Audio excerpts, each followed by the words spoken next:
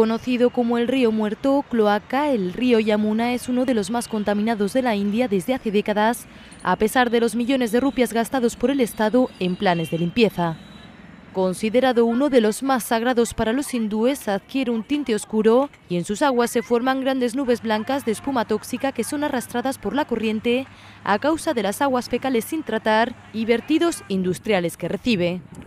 El incremento de la actividad en los años 70 produjo un gran impacto medioambiental en el Yamuna, pero según activistas medioambientales, la situación terminó de empeorar cuando el 99% de su caudal fue desviado a dos canales dedicados al regadío en 2002, tras la construcción de una presa al norte de Delhi.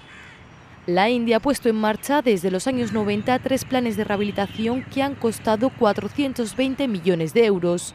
La construcción de plantas de tratamiento de aguas y de alcantarillas era una parte importante de esos planes, pero en unos casos no fueron suficientes y en otros ni siquiera llegaron a materializarse. Por lo que, según investigadores del Instituto Internacional para la Gestión del Agua, los vertidos son diseminados en toda la ciudad hasta que son recuperados con camiones y depositados directamente al Yamuna, un río que, a pesar de ser sagrado, muere poco a poco a causa del egoísmo del ser humano.